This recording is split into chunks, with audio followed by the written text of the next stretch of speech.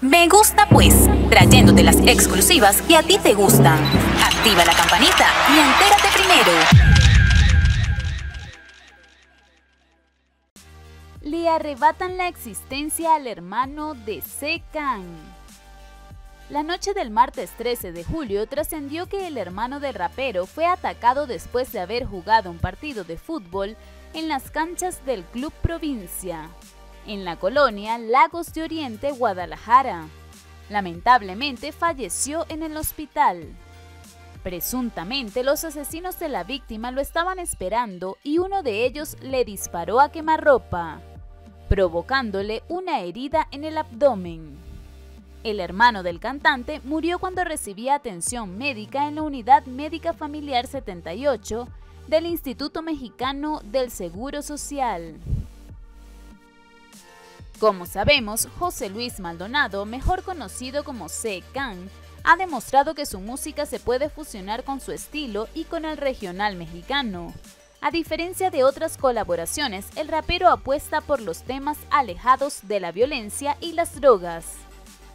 Aquí en México todos los días te levantas con noticias lamentables. Son tantas que la sociedad se ha acostumbrado a escuchar que han encontrado fosas clandestinas que hay desaparecidos. Y yo pienso en este momento que si ya vivimos con eso, no hay por qué llevarlo a la música.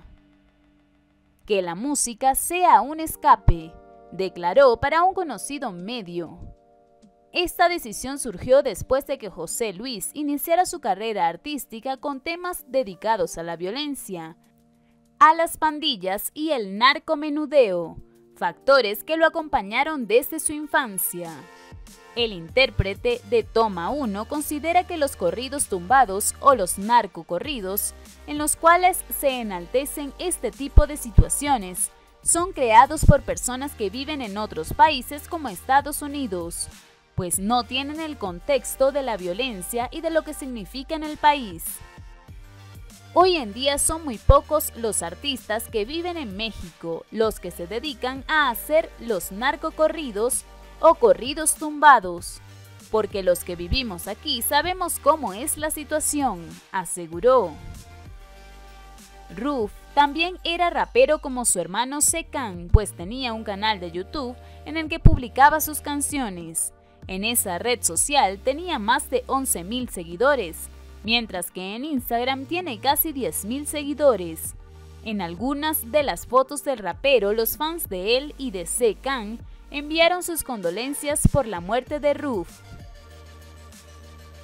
Ruf compartía en Instagram fotografías de su vida cotidiana y hasta de su familia y amigos, así como fragmentos de sus canciones.